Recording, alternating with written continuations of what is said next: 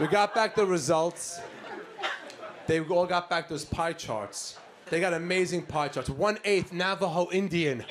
A quarter Iberian, Celtic, Norwegian, African. I was so excited for mine. I opened mine up, 99.8% Jewish. That was it. There's no Vikings, there's no Navajo, nothing. 99.8% Jewish. The, the pie chart was a matzo ball with a toothpick in it. The results came back in Yiddish. then they give you your, your health risks. What are my health risks? Hypertension, diabetes, Nazis, Nazis, Nazis and Kanye are my health risks.